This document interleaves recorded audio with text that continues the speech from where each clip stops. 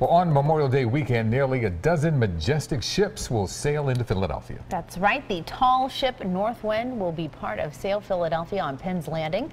Organizers say the five-day celebration will honor the sailing community and Philadelphia's maritime heritage. The festivities will begin with the Parade of Sail on the Delaware River.